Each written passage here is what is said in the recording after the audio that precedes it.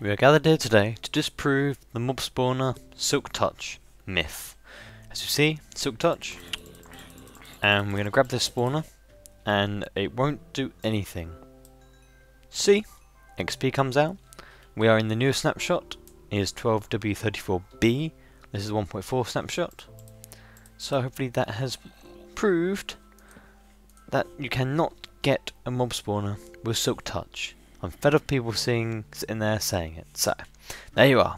Thank you very much, and I'll see you again soon.